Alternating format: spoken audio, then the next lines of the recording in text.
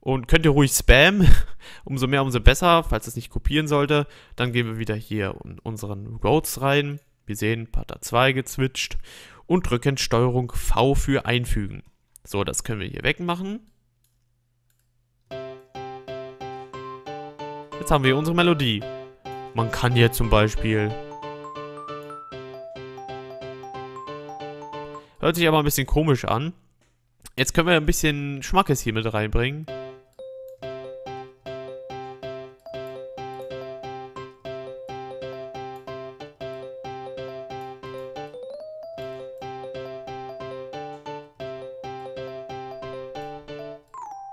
Ihr könnt natürlich machen, was ihr wollt. Äh, probiert aus mit den Noten. Noten an sich sind ja so eine Sache. Wichtig ist, ich kann ja sowieso keine Noten. Wichtig ist nur, dass man einfach hört. Dass man äh, weiß, hört sich das gerade an oder hört sich das vollkommen schief an. Dann korrigiert man das einfach. Wenn man, wenn da irgendwas ist, was einem nicht so gefällt, dann korrigiert es einfach. Lasst es nicht so. Ist ja jetzt nur ein Beispiel, hört sich sehr durcheinander und komisch an, aber wie gesagt, das ist nur ein Tutorial, damit man sich mit dem Programm ein bisschen abfindet. Man kann jetzt hier ähm, noch mehr Pattern erstellen, man kann jetzt das dritte Pattern machen. Äh, und dann können wir zum Beispiel die Drums machen, äh, indem wir halt hier, wie ich das schon mal gemacht habe, in Packs reingehen, Drums, Kicks und dann können wir hier die einfach da reinziehen und dann können wir anstatt, ich mache das mal wieder ein bisschen lauter, dann können wir anstatt ähm, die Piano Roll benutzen, benutzen wir hier unseren Step-Sequencer, indem wir einfach hier die Punkte hinsetzen. So. Dann ganz wichtig, wenn man hier das erste Mal arbeiten sollte und keine Ahnung hat, was diese, dieser Farbenunterschied bedeutet, einfach mal das Metronom anmachen, hier oben. So, natürlich wieder auf Step-Sequencer switchen, mit diesem schönen Button. Und wir hören die Kick tickt genauso wie das Metronom, ein Viervierteltakt. Wenn ich das mal so mache.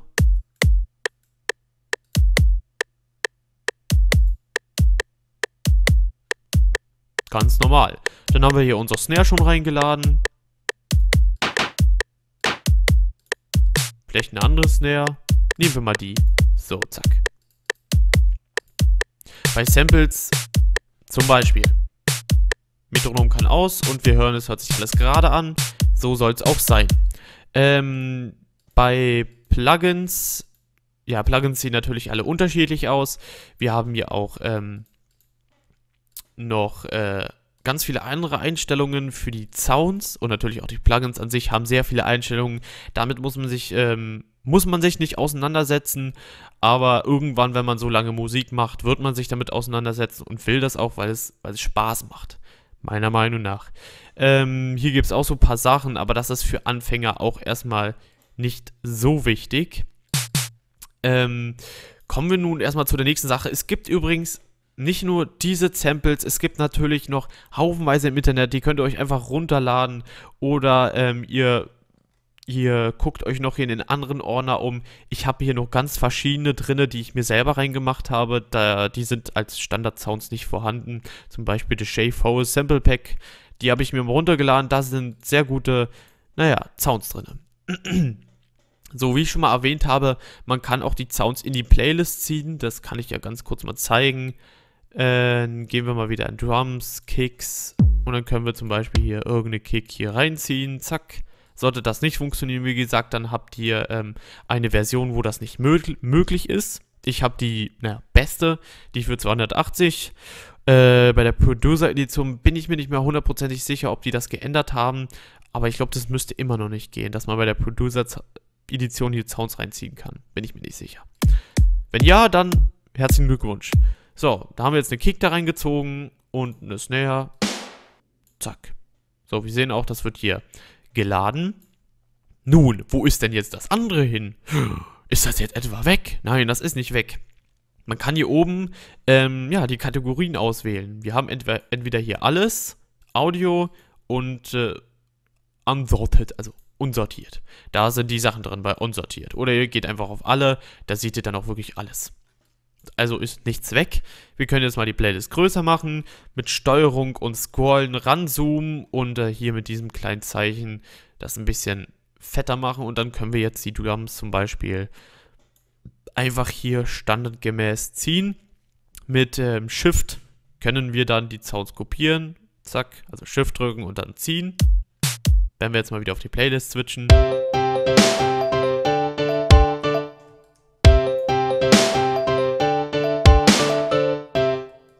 Dann markieren wir das Ganze, drücken wieder Shift für das Kopieren.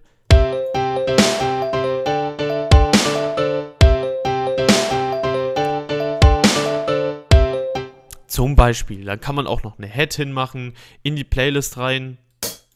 Nehmen wir mal einfach das hier, ist doch Wumpe. So.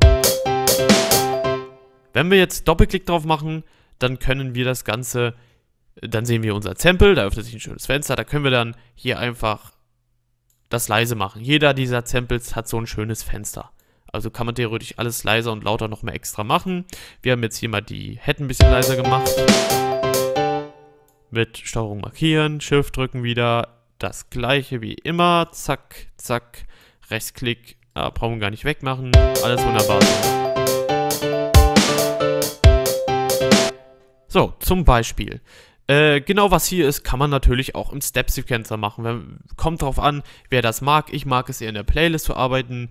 Manche machen das aber auch so. Die machen das hier einfach im Step-Sequencer hin. Ähm, wie gesagt, wir können hier oben nochmal auf 1 gehen, auf 2, da sind unsere Sachen noch da. Auf 3 ist dann, sind dann unsere Drums. Wir können jetzt hier zum Beispiel das wieder wegmachen, so mit Rechtsklick. Gelöscht ist das nicht, die Sounds sind immer noch da. Die sind hier. Die kann man dann einfach wieder reinziehen. Oder man macht hier oben Rechtsklick drauf, dann öffnen sich die Patterns, was wir hier alles gemacht haben. Klavier und äh, dieses komische Rhodes und nochmal die Drums. Hier bei All können wir auch nochmal die ganzen Sounds sehen und die Plugins. Die sind aber erstmal hier unwichtig, die haben wir auch hier drinne. Gut, ähm, hier wie gesagt haben wir unsere Drums auch noch vorhin gemacht. Da können wir jetzt zum Beispiel auf die Kick, die wir gar nicht brauchen, noch eine Head ziehen. Oder eine andere. Irgendwas. Nehmen wir die. So, und die können wir dann auch hier hinsetzen. Zack. Und wir sind auf Pattern 3. Und jetzt legen wir einfach... Ah, jetzt ist noch das Sample aktiviert. Das heißt, wir machen das mal weg. Machen wir Rechtsklick drauf und aktivieren unsere Drums. Zack. So. Und dann legen wir das hier sehr schön hin.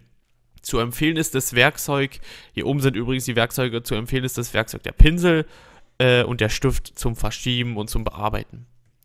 Werdet ihr wahrscheinlich dann irgendwann merken, wenn ihr irgendwelche Probleme habt, einfach mal gucken, ein bisschen rumtesten, wo hier was ist. Und das Problem wird sich dann wahrscheinlich von selbst lösen oder ihr guckt euch noch ein anderes Tutorial an. Ähm, ja, jetzt haben wir die Drums noch hingelegt. Jetzt können wir das theoretisch abspielen.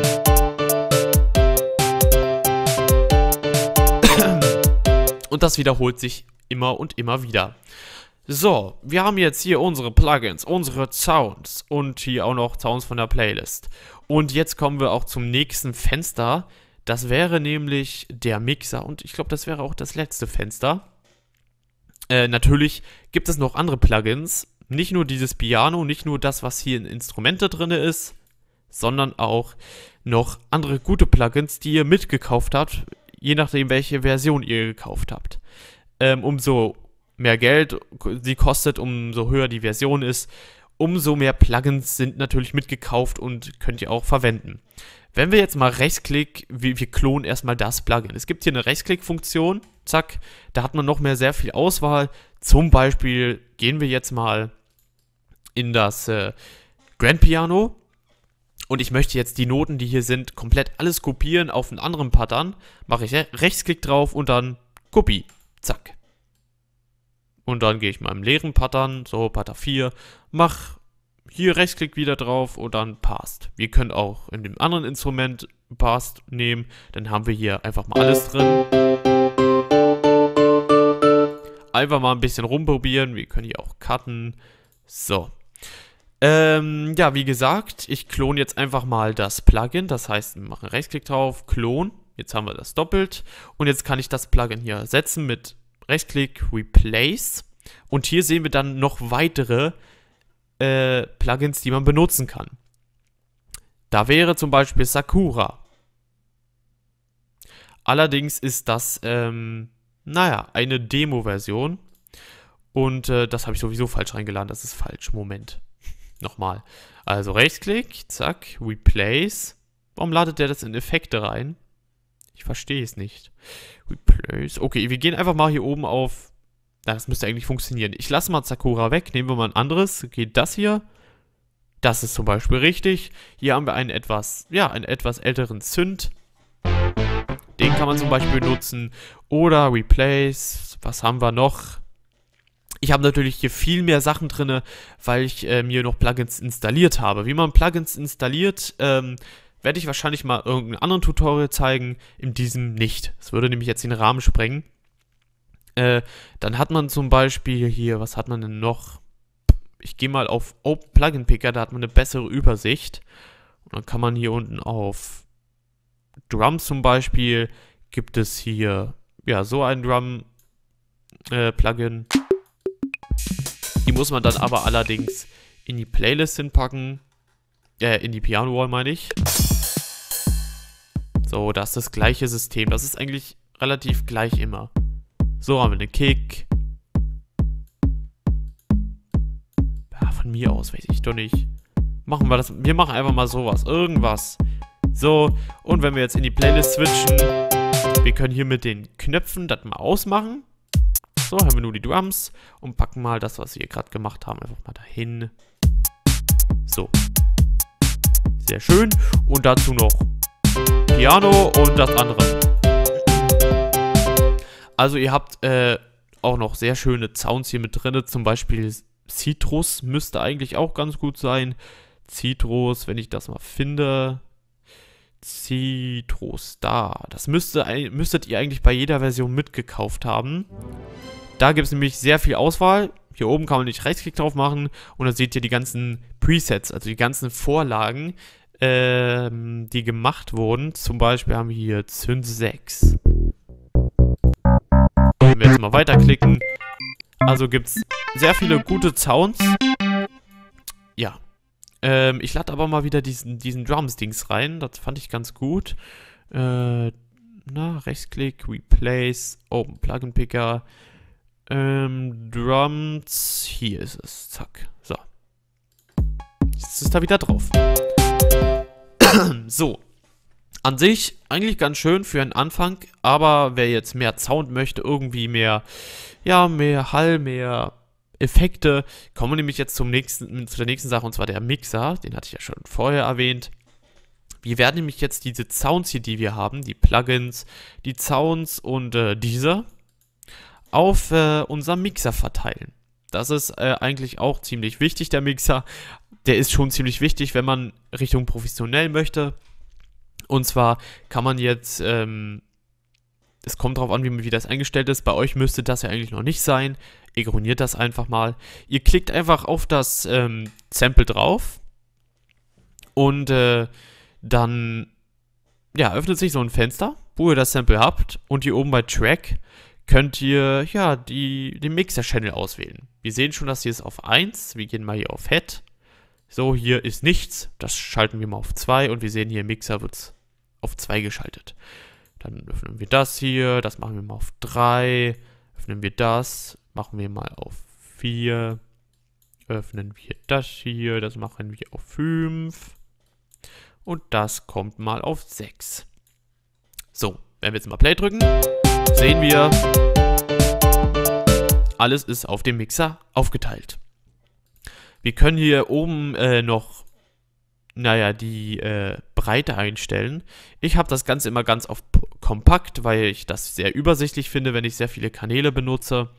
Darum lasse ich das auch mal so. Ähm, so bin ich es gewöhnt. So, wir haben hier alles verteilt. Wir sehen auch, wenn wir hier überall raufklicken, dann switcht das hier unten hin und her. Und wir sehen auch, wenn wir Play drücken, dass sich das bewegt. Äh, jetzt können wir zum Beispiel, wenn wir die Kick anklicken, wir sehen, die ist auf 1, können wir auf die 1 Effekte legen. Jetzt ist natürlich die Frage, wie und wo finde ich die Effekte und was gibt es für Effekte. Ähm, wir gehen hier auf Channel 1, wir können das hier auch durchklicken, wir gehen auf Channel 1 und hier an der Seite kommen die ganzen Effekte rein. Da machen wir mal Rechtsklick drauf oder auch noch etwas einfacher für Anfänger. Linksklick, da ist das Fenster ziemlich übersichtlich. Da sind die ganzen Effekte ähm, die ihr benutzen könnt. Wie gesagt, bei mir ist wieder viel mehr, sind zwar keine Effekte, aber